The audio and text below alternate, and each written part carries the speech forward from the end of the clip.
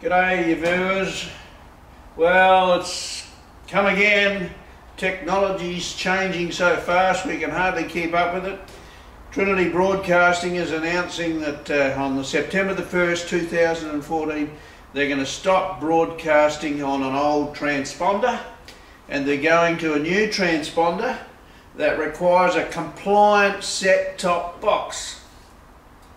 What they're wanting is to reach the next generation on smartphones and tablets and different formats and they've got to change from MPEG 2 which is a, a very uh, good quality video format but, but it took up too much bandwidth and they're moving it to MPEG 4 so if you've got one of these older set-top boxes on that side uh, you, are going to be out of luck because you won't be able to get any of the TBN channels, Church Channel, Smile of a Child, JCTV, now called JUCE TV, uh, or Church Channel, at the Trinity.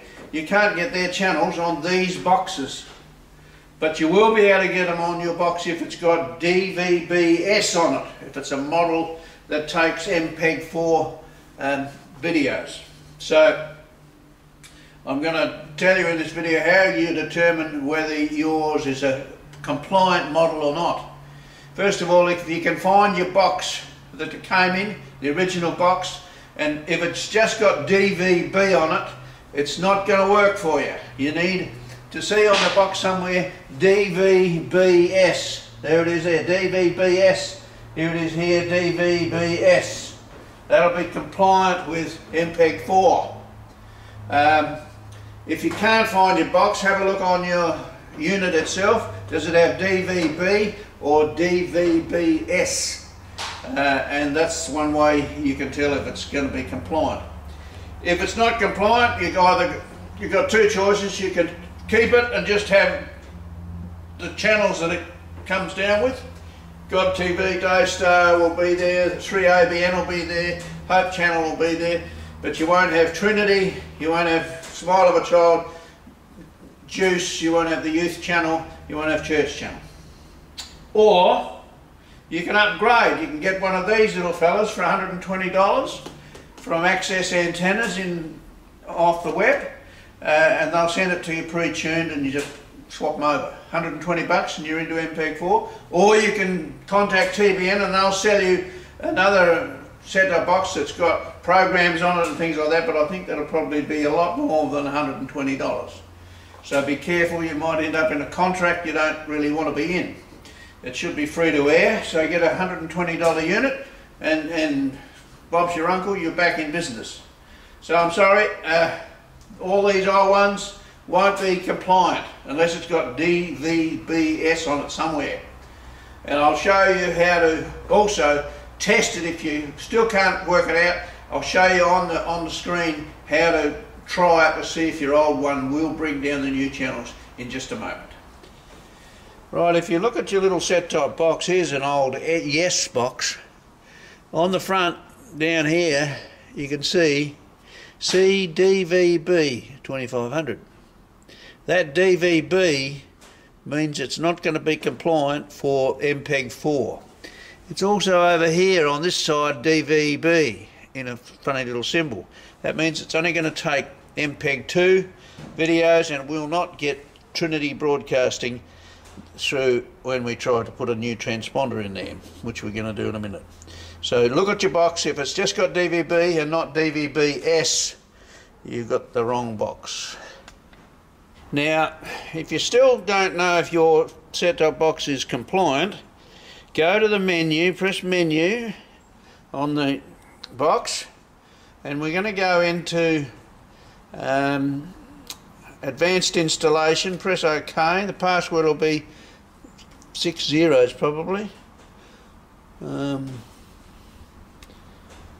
what are we? One, three, four, five, six, yes, six zeros.